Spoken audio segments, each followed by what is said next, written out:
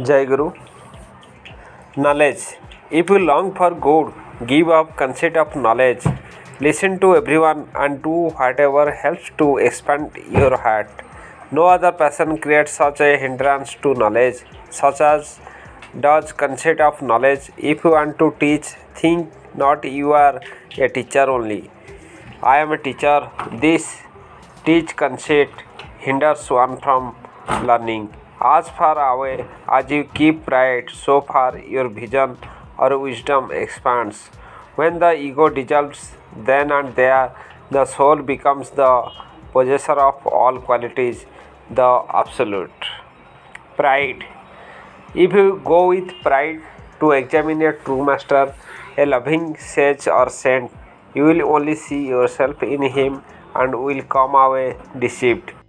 The test is to feel blessed in the race of a true master by approaching him without prejudice or preconception, with a loving heart, humility, and as little pride as possible.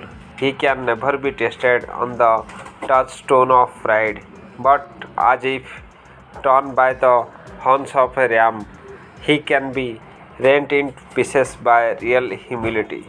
As the sparkle of a diamond which remains in coal and dirt can only be seen after thorough cleansing, so also he who lives in society as an ordinary man can illumine the world with his sparkle only by the washings with love. The lover alone can know him, so keep the company of lovers and worshippers of existence. He may manifest himself. A proud man can examine proud man. How can he fathom one whose pride is deserved?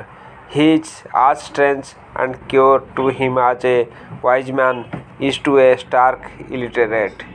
Jai Guru.